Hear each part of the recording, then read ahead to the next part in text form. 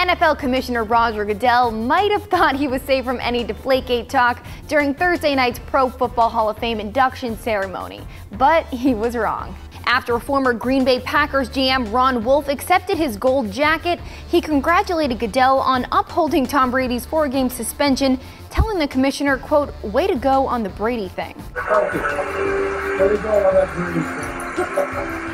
Sarcasm or not, you be the judge on that one.